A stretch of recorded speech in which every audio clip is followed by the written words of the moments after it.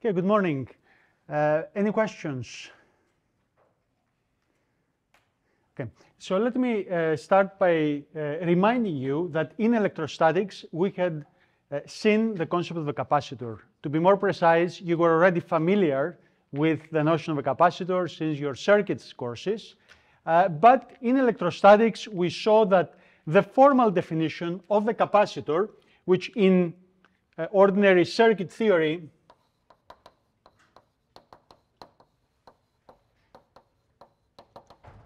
Uh, you have seen it as uh, this symbol that if you take the voltage here and the current, these are related through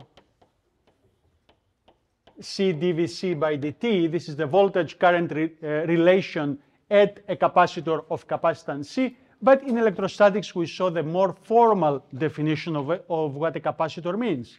And generally, a capacitor is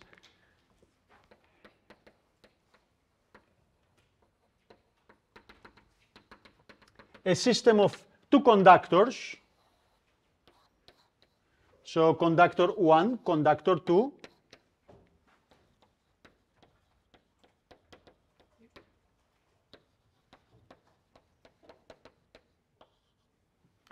That uh, if charged with uh, positive charge Q and here minus charge Q, uh, the a typical way of doing this is by connecting them to a voltage source.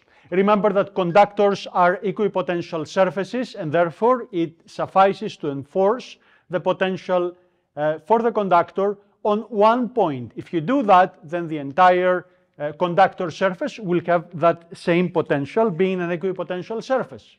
That means now that there will be field lines that start from the positively charged conductor to the negatively charged conductor, and they will be hitting those conducting surfaces at 90 degrees.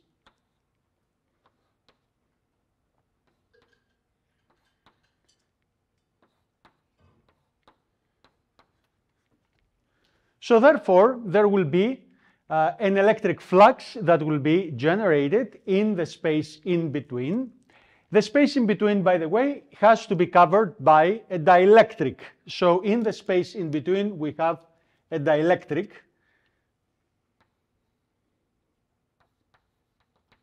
And why do we have a dielectric in there? Anybody remembers? So why do we have to put a dielectric in between the two conductors? That's right, to make sure that there is no uh, current flow from the one conductor to the other. We want those charges to stay on the uh, two conductors and not uh, give rise to a current that will uh, discharge the one conductor through the uh, space in between to the other conductor. Uh, so we need a dielectric in between and we defined the capacitance of this system. As the ratio between Q over the voltage and having the electric field, you can find this Q from Gauss's law as the electric flux on a uh, surface S.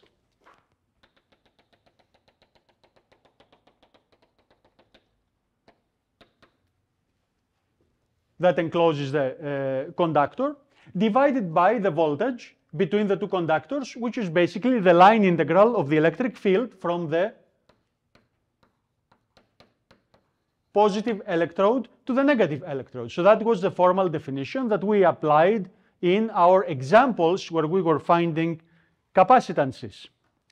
Uh, so if you see what is on the top, this is a Q, is electric flux. You see we integrate the electric flux density vector in Coulomb per meter squared over the surface S. And therefore, we are calculating electric flux.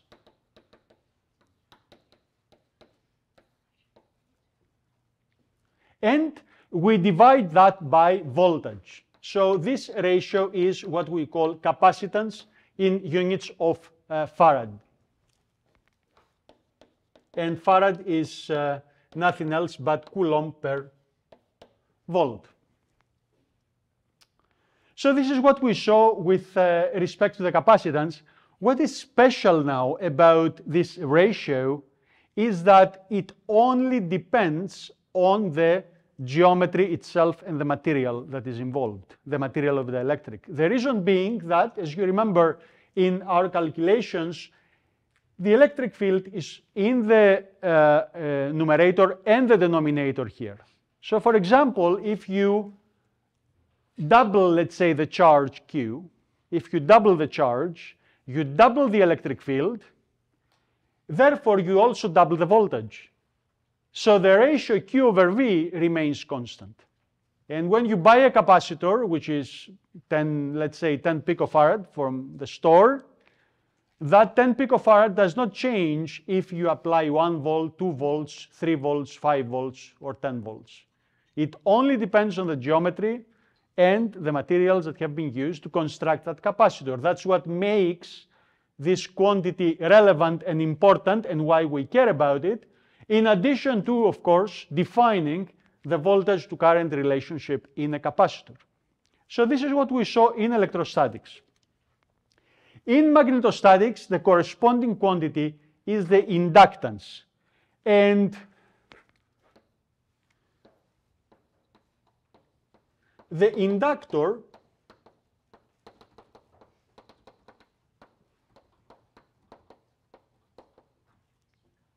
the inductor that you have seen in circuits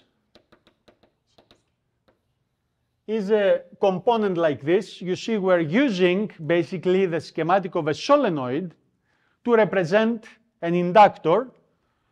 Uh, and uh, you have used already this um, symbol L for the inductor. And we know that if the inductor has voltage V sub L for a current I sub L, those two will be related through this voltage current relation. So we're interested in this quantity L because it controls the voltage current relation at the inductor. So it tells us how much voltage we can get if we drive current I through that device. This is what makes this an important and pertinent quantity. So how is this now formally defined? That is my next topic. And you will notice that it corresponds almost one-to-one -one to the definition of the capacitance in electrostatics. So let's consider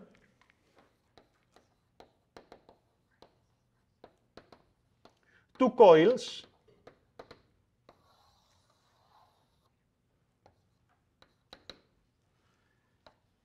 C1 and C2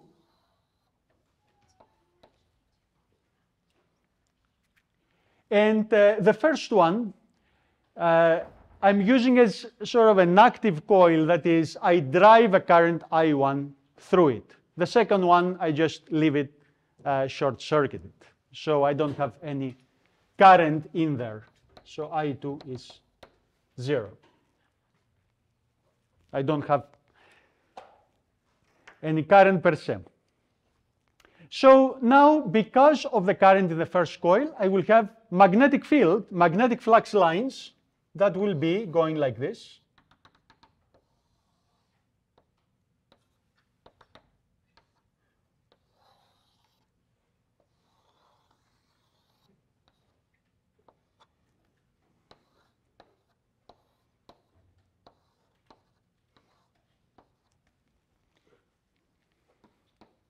In other words, the current I1 in the first coil will create a magnetic field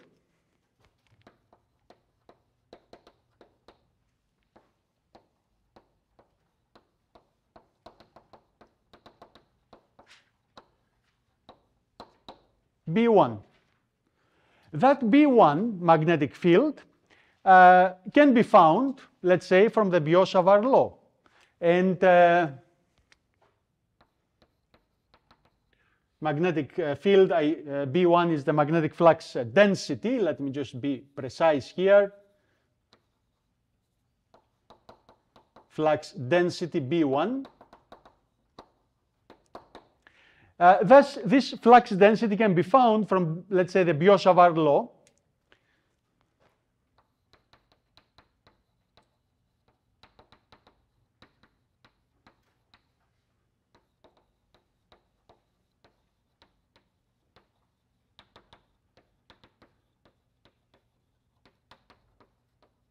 I will use here the Biot-Savart law just uh, because it is applicable to a general case of a coil. Of course, if there was a symmetry, as we will see in the examples, I would apply, uh, I could apply the Ampere law as well to find that magnetic flux density. But in general, this can be found from the Biot-Savart law. And for this coil, the expression of the Biot-Savart would be something like this, that B1 will be uh, the integral of all dBs generated, the elementary flux densities that are generated by every little segment dl on this coil. So every little segment dl on the coil will generate at an observation point its own magnetic flux density.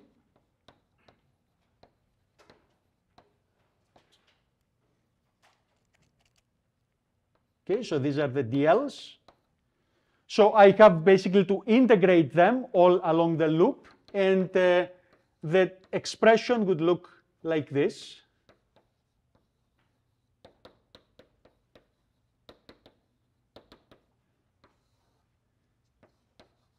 by the Biot-Savart law. And this current I here will be the current I1 in the loop. Okay. So the whole purpose that I wrote this expression was actually to show that the magnetic field will be proportional to the current I1. So if I double the current I1, I double the magnetic flux density. If I triple current I1, I triple the magnetic flux density. So my conclusion here is that this B1 will be proportional to the current I1. Okay.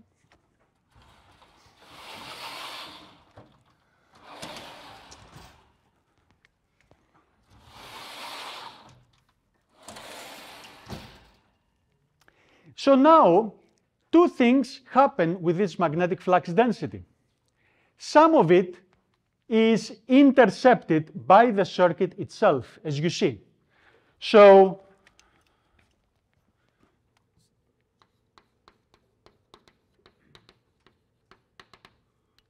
So the flux density is generated by the first coil.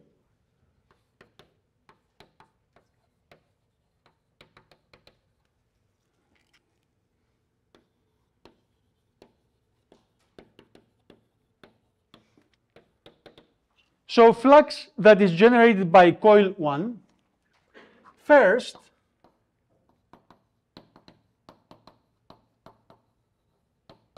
is intercepted by the coil itself. And that's exactly what an inductor is. Just like the capacitor is a circuit that creates electric flux that it intercepts. So for example, the parallel plate capacitor creates electric flux in between its plates and the flux flows where? In between the plates. So the capacitor itself intercepts its own electric flux. And that ratio Q over V is this pertinent quantity that we call capacitance. Here we have exactly the same for magnetic flux. It is generated by C1 and clearly some of it is intercepted by C1. There we are.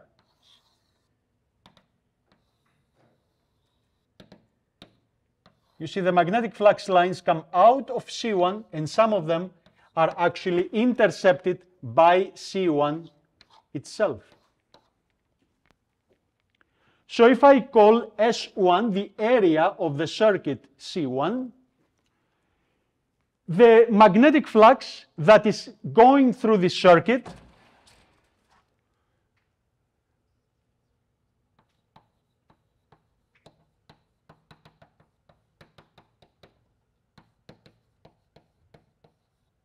the magnetic flux through this area uh, C1,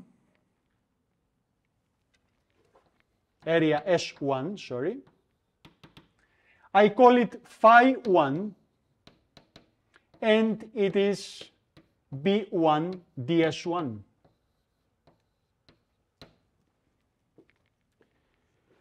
Notice that if I divide this flux by the current I1, I'm getting a quantity that is independent, totally independent of the current. That quantity is called the inductance of the coil 1. So inductance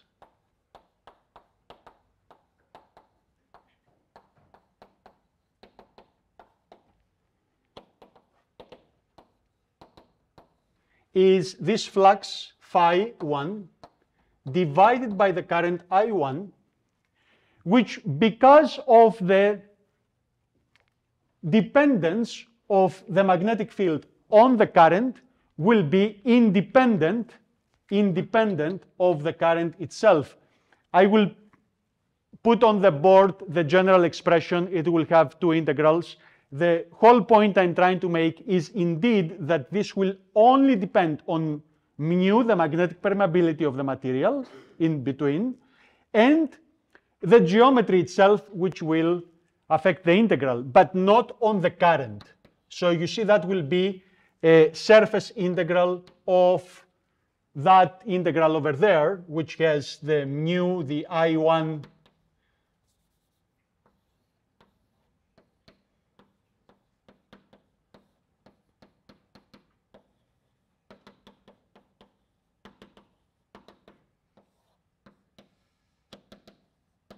r prime cubed, and you see that the current cancels out. So therefore, we have a quantity that is only dependent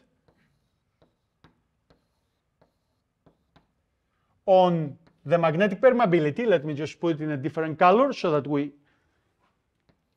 see it more clearly, and overall the geometry of the, uh, of the circuit that will affect the DLs and the Rs and so on.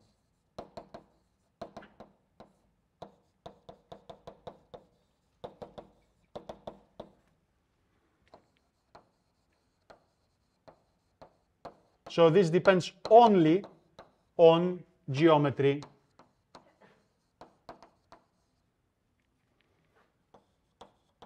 and, of course, the magnetic permeability of the circuit. So this is the formal definition of the inductance. Here is an example. And uh, to honor the fact that the um, that um, the circuit symbol of an inductor is a solenoid, I will calculate the inductance of a solenoid. Uh, so the solenoid that we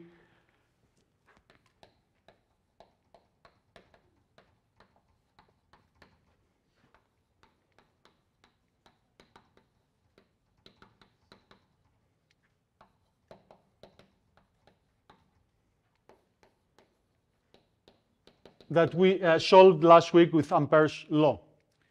So n turns per unit length. Uh, such a solenoid, uh, as we saw,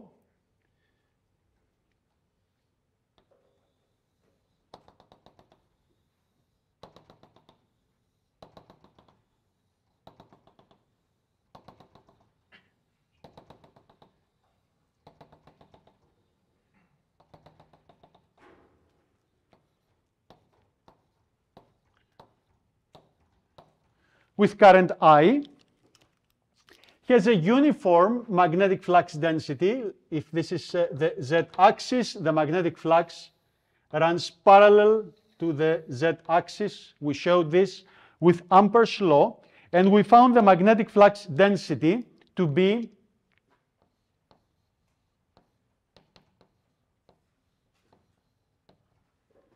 for current I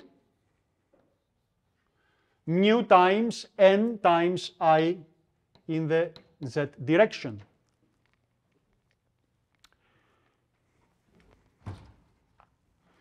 So let's consider a solenoid of length L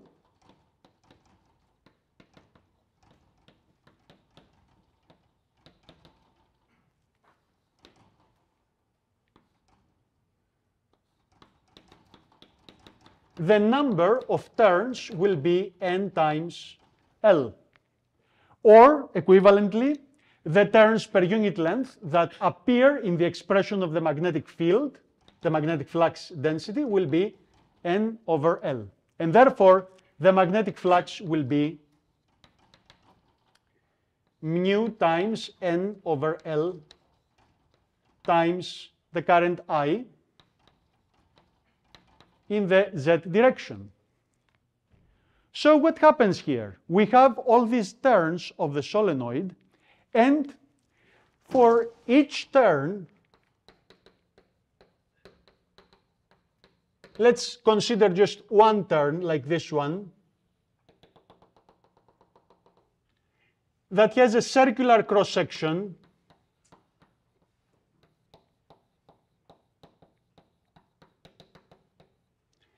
and let's consider a radius A.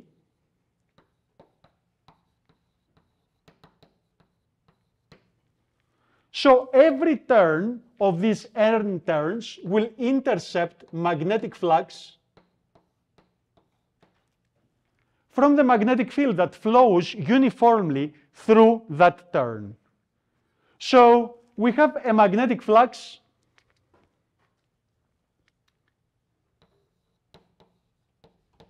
through one turn, which is this integral b dot ds. But now this integral is very simple to calculate because the magnetic field is constant. The area of the turn is the area of a disk of radius a, it's pi a squared. So therefore, the total flux is nothing else but mu times n times i divided by the length L times pi a squared. So this is the flux that goes through one single turn. But I don't have one turn, I have n turns, so the total flux through the solenoid is n times the flux of one turn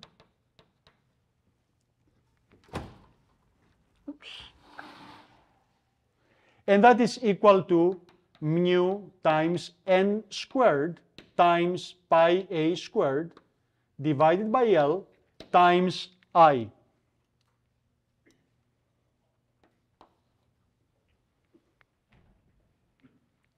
So this is now the inductance, the ratio between the total flux intercepted by the solenoid. See the uh, correspondence between this case and the capacitor. The solenoid is fed with a current, it generates magnetic flux, and it intercepts its own magnetic flux. So here we have a kind of inductance that we call self-inductance. Self-inductance is basically all the inductances that you have seen in circuits, where you feed a, a coil that generates magnetic flux, it intercepts it. So the inductance here, L, will be the total flux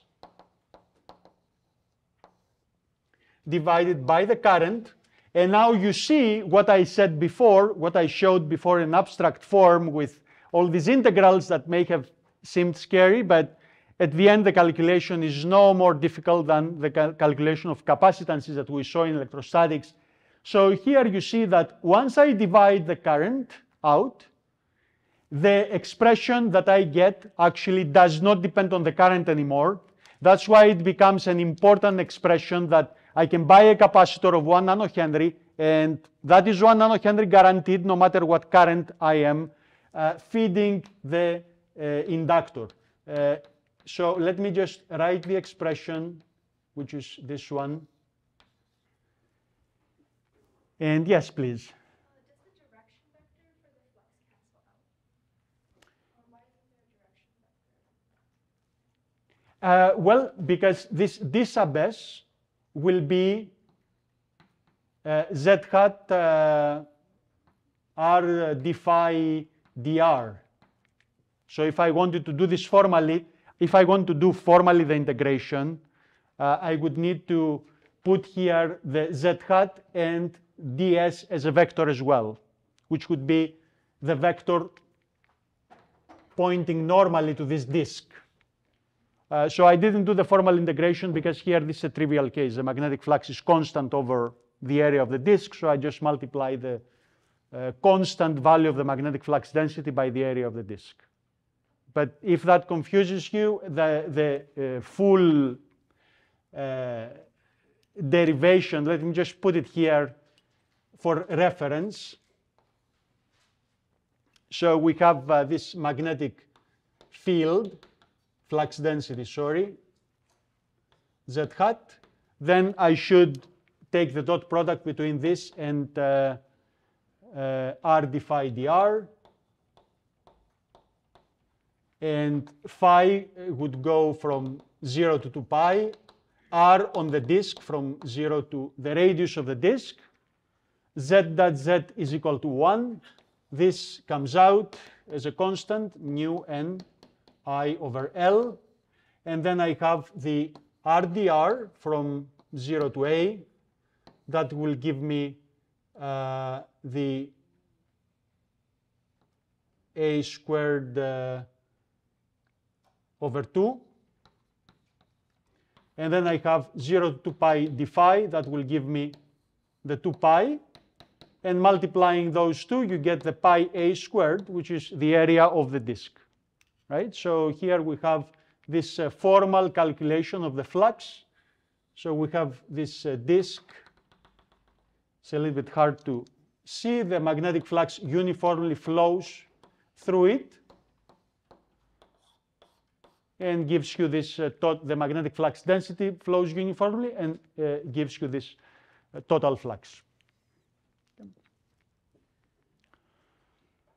Okay, so this is uh, the inductance. Uh, in uh, structures like the solenoid, uh, where you have n turns and magnetic flux flows through each of these turns, as you see here, we need to calculate the flux through one turn and then uh, find the total flux multiplying uh, the flux through one term times the number of turns there is a name for this total flux that is called the flux linkage. So this uh, phi total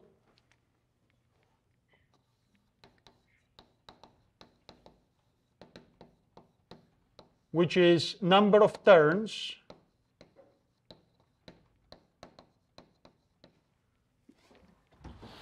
times the flux through one turn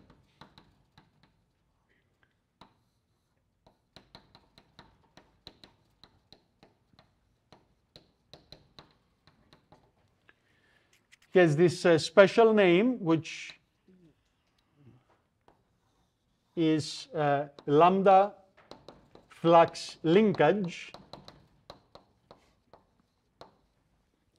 and which I mentioned only because it is in the textbook.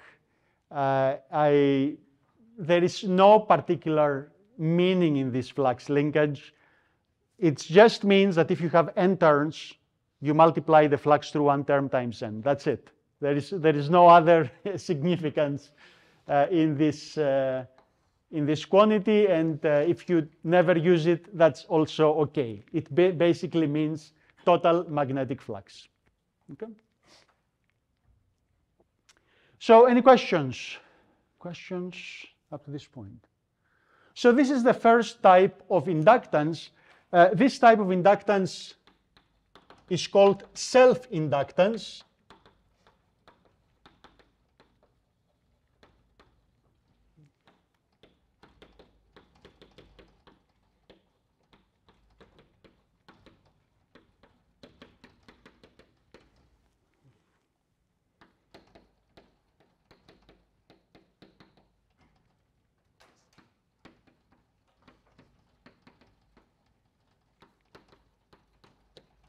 Where the flux is calculated through the circuit that generated the flux.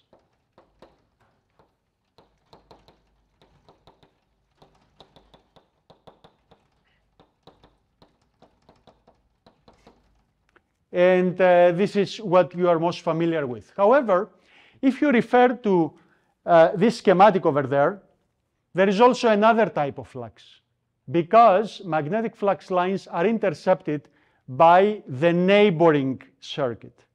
And this is a very important type of flux. Uh, for example, when uh, an aircraft lands, it goes through magnetic fields that are generated from the ground, from transmitters of uh, mobile phones, I mean mobile communication system transmitters, base stations, radars, other communication systems on the ground, defense, um, air, air, uh, aircraft control, air traffic control systems, and so on. So the circuits on the plane are actually intercepting this flux. And just like in self-inductance, V is equal to LdI by dt, this kind of inductance, where now one circuit generates the flux and another circuit intercepts it, actually can induce noise on those circuits. And this is one of the threats on aircraft electronics that are uh, being certified when, uh, let's say, uh, Bombardier Aerospace uh, is selling an aircraft and the, before the aircraft leaves uh, the Downsview factory, it has to be certified that when it lands, that noise that is being induced by this kind of mutual inductance, as we call it, will not desensitize aircraft electronics. Very important kind of an effect where now C1 creates the flux and C2 intercepts it.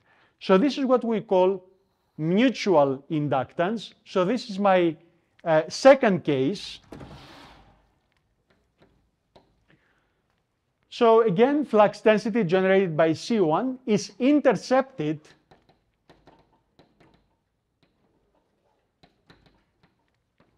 by C2. This is what we call mutual inductance.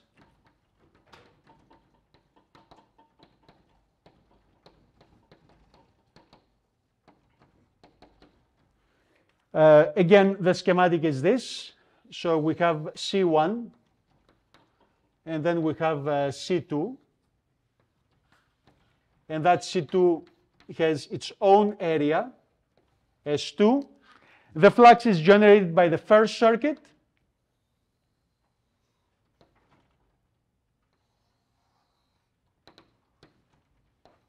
And as you see, some of it will be intercepted by the second circuit.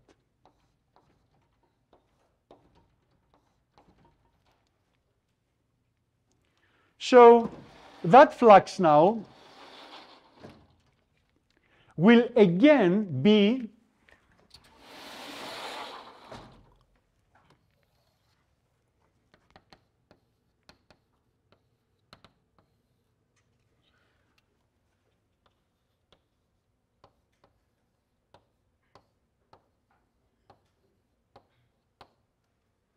proportional to the current I1 because still it depends on the first magnetic flux density. So therefore, again, that will be proportional to I1.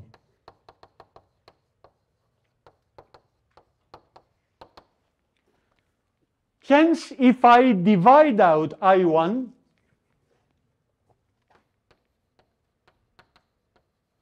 I can define another type of inductance, the mutual inductance between the two circuits. I call this L12 mutual inductance. That formally is defined as B1.ds. So you see now I integrate over the, the area of the second circuit and I divide by I1. So that again is independent of I1.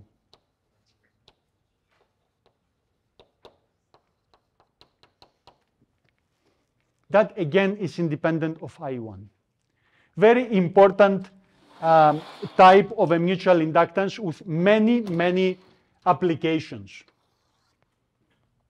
In the old days, I think I have mentioned this before, when you were picking up your phone, many times you could hear someone else's uh, conversation, and that was precisely because in the DSL technology, uh, they are twisting wires that correspond to one circuit, and then they are twisting wires over multiple circuits.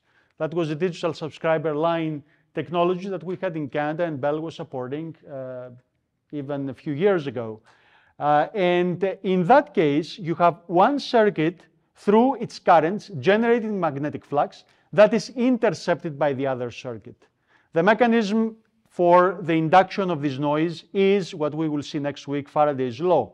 That is time varying magnetic flux through a circuit introduces electromotive force, i.e. voltage, that is current, that is signal that can be picked up by your receiver circuit and then you get to hear the discussion of the, the conversation of another customer as a noise on your own conversation.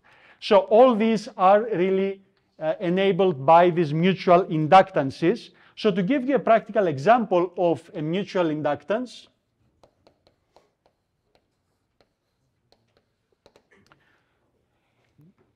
let's uh, consider a wire along the z-axis with current I.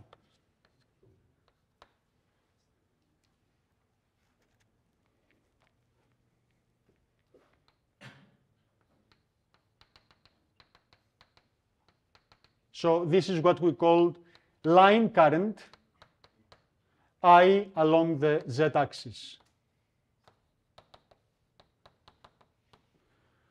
So I'm going to compute the mutual inductance between this and a frame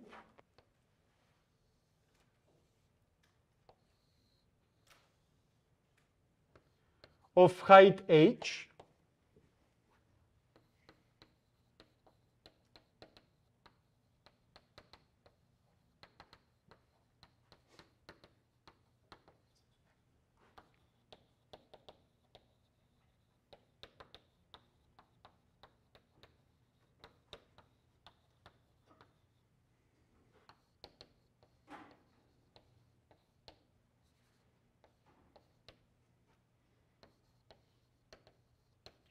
height h and width w.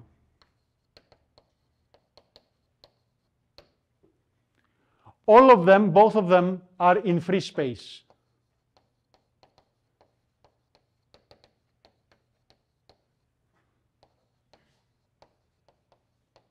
So the mutual inductance will basically show you the coupling between the wire, let's say you have you are passing by a telephone cable, you're passing by a telephone cable, and you are carrying your laptop, which has circuits inside. The circuits inside, those closed circuits, similar to this frame, will actually capture some magnetic flux lines. And as a result, there will be noise induced by the wire onto the circuit. You remember the magnetic field that this generates? So the infinite line current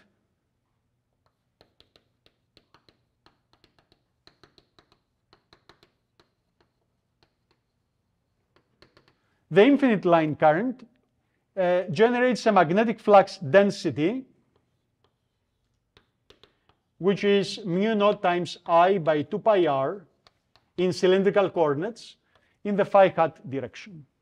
So the magnetic flux lines are actually flowing in circles around the current.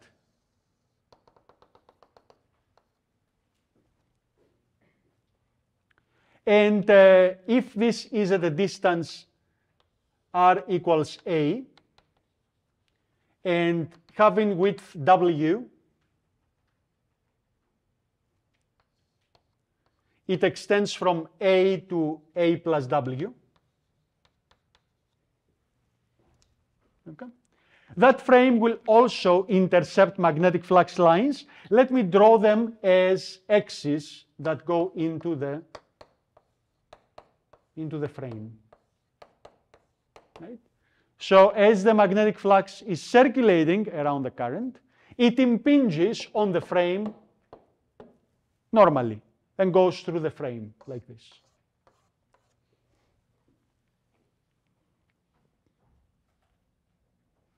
So there is magnetic flux through the frame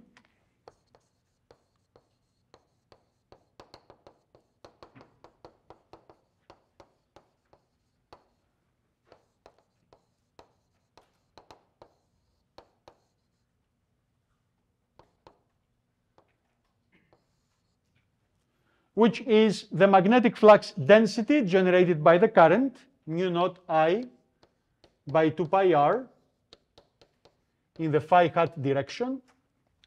And I have to integrate that over the frame using the corresponding differential area element. The corresponding differential area element will have to point in the phi hat direction, the direction that the magnetic flux flows. And if you look at your um, aid sheet, that will be dr dz. It cannot be d phi, I'm fixing uh, phi. So it will be dr dz. Uh, this is uh, dr, this is dz. So we basically integrate through differential surface elements, moving them along the frame. So phi dot phi will be equal to 1. You see I'm integrating over r and z. For z, let's say I start from 0 to h. And for r, I'm starting from a to a plus a plus w. To a plus w. So a is the distance of the frame, of the left branch of the frame from the wire, and a plus w the distance of the right and uh, the right branch of the frame uh, from the wire. So this is uh, my integral. Phi dot phi is equal to 1. I have a bunch of constants. Of course, the current is one of the constants, as I would expect. This comes out. And now I have one integral from a to a plus w, dr over r. And then another integral, dz from 0 to h. 1 over r, the integral is a logarithm. So mu naught i over 2 pi. The first integral gives me a logarithm of a plus w divided by a. And the second gives me simply h, the height of the frame. So now the mutual inductance that I'm looking for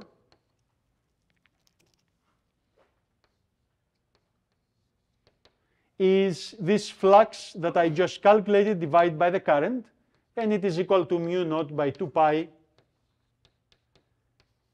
logarithm of, uh, let me write this as 1 plus w over a times the height h. So this is the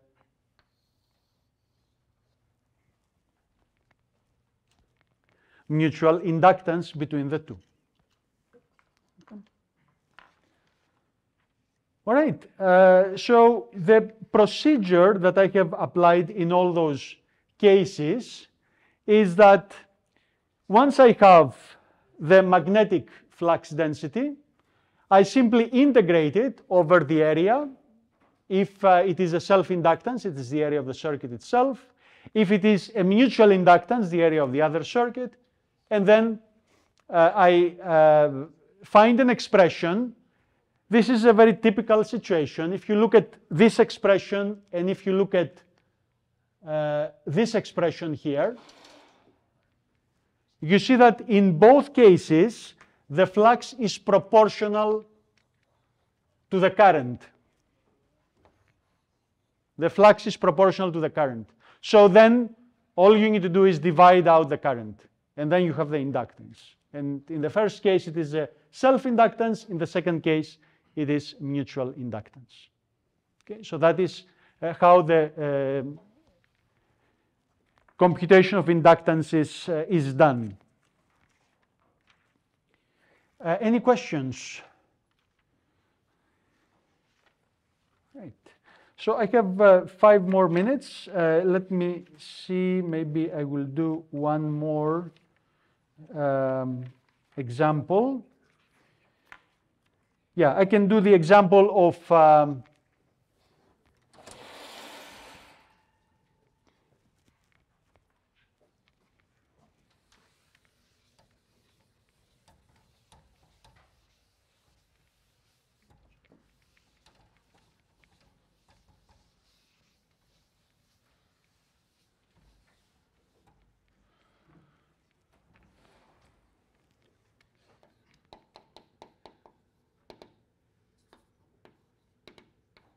Again, it is a self-inductance example.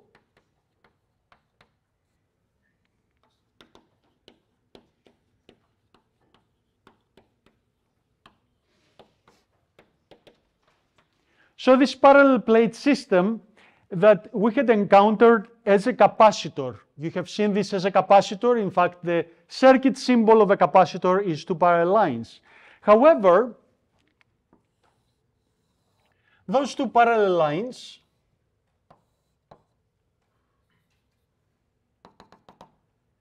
two parallel conductors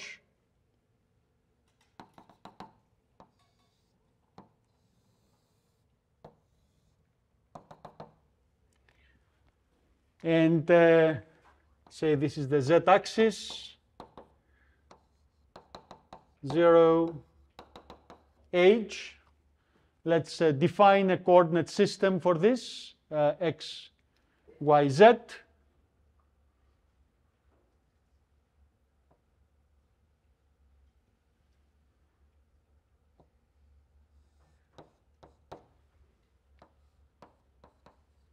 So x, y, z, y is into the board. Uh, magnetic permeability mu. So we have seen this as a capacitor However, if you feed the two lines with opposite currents, as we uh, do in uh, printed circuit boards, where you have those uh, strips of conductors that are fed with currents, then you have a system that is very similar to the one that we solved with Ampere's law and uh, if you remember, that one supported a magnetic field only between the plates and zero outside the plates. So the magnetic field of this system is actually uh, mu naught surface current density J sub s on the two plates, J sub s here minus J sub s here, and you may notice that this is again a dual system to the capacitor where we had surface charge densities on the upper and the lower plate. So here we have current densities on the uh, surface current densities on the top and the bottom. We solve this with uh, the uh, Ampere law. The magnetic field in between is mu naught Js y hat. So there are magnetic field lines that flow in between like this, and it is zero elsewhere. So if we look at the cross section of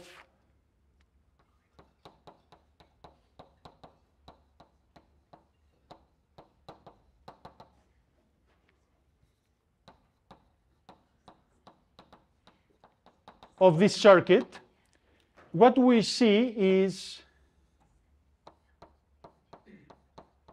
this surface current density here,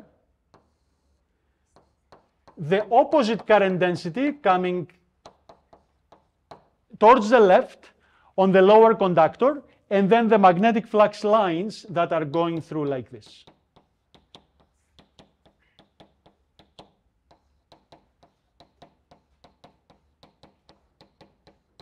So all this magnetic flux is intercepted by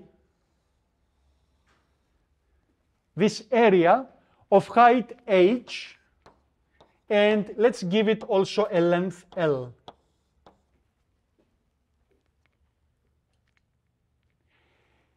This magnetic, uh, uh, this uh, sorry, surface current density, if the total current is I and the width is W, the current density J sub S is equal to total current divided by width and flows in the x direction. Because remember, surface current density is related to the current through the following relation.